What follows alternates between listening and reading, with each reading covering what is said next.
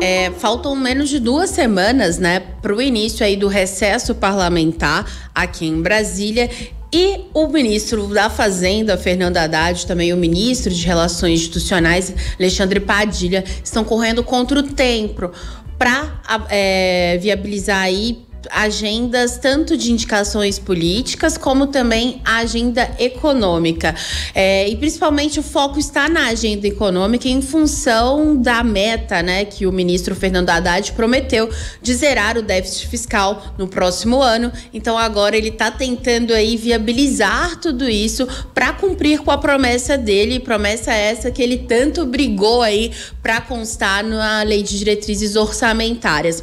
E para viabilizar isso, a Haddad chegou, inclusive, como a gente mostrou, a cancelar a participação na cúpula do Mercosul, que aconteceu na última semana no Rio de Janeiro, e que, digamos assim, é um dos eventos mais importantes do países da América do Sul, principalmente do ponto de vista diplomático e também econômico, já que reunia não só os ministros da Fazenda, de Relações Exteriores, mas também do banco, dos bancos aí é, central de cada país. Então, ele já não não tinha ido. E aí hoje ele também cancelou participação em um evento da XP Investimentos, que aconteceria daqui a pouquinho, às 9 horas, para também uma reunião aí com o presidente Lula e líderes no Congresso Nacional.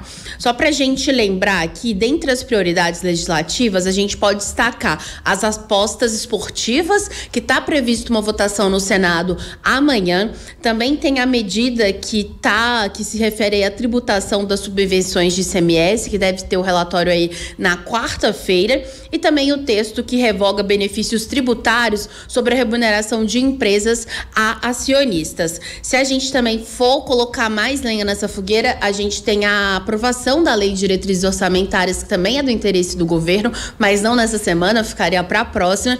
E do pacotão todo que estava previsto para o Haddad e para a equipe de Lula, o único que foi aprovado até agora foi a taxação aí de offshores e também de fundos exclusivos, que o presidente depende agora da sanção presidencial. É, Fora essas propostas que eu citei, o governo estima aí cerca de 65 bilhões de reais em 2024. Agora, uma pauta importantíssima também para o governo é a manutenção do veto sobre a desoneração da folha de pagamento de 17 setores. A estimativa é se esse veto for derrubado, aí o governo Lula vai perder cerca de 9,5 bilhões de reais no próximo ano. Então, assim, e é claro, essas revisões elas são alteradas também, porque tem mudanças no texto. Então, é, hoje o que a gente vê é o Haddad cuidando pessoalmente dessa articulação, porque a, a Alexandre Padilha tem tentado aí agilizar a liberação de emendas, tanto que na semana passada ele falou que 80%, se comparado com o ano passado, já foi liberado, só que isso não tem sido suficiente. Então, o Haddad agora está pessoalmente é, conversando, fazendo questão questão de aumentar aí essa romaria, vamos dizer assim, para que essa semana consiga e a maioria desses textos serem aprovados. Ainda há uma polêmica e tudo, então Padilha deve tentar dar mais celeridade a outras emendas ainda essa semana, liberar o pagamento e aí para a gente ver se até o recesso parlamentar tudo isso vai ser vai ser aprovado, né? Um pacotão do, do Haddad.